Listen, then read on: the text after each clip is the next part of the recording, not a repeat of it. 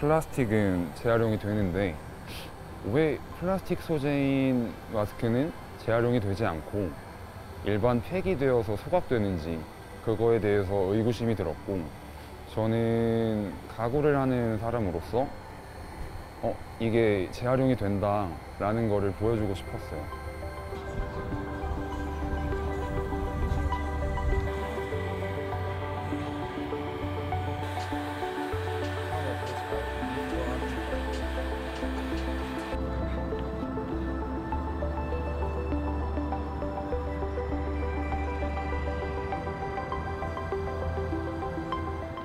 안에 내포된 메시지가 굉장히 강하다고 생각해요.